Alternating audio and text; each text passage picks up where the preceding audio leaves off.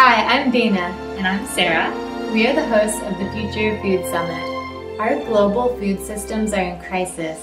The nutrients in our food supply have diminished in the past 50 years, causing over 2 billion people worldwide to suffer from nutrient deficiencies. How on earth will we feed future generations? Not just calories, but nutrient-dense food.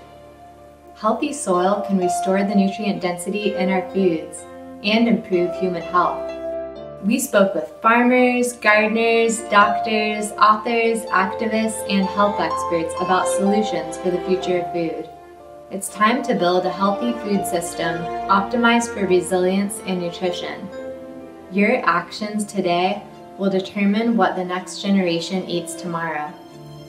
What do you want the future of food to look like? Take part in the future of food.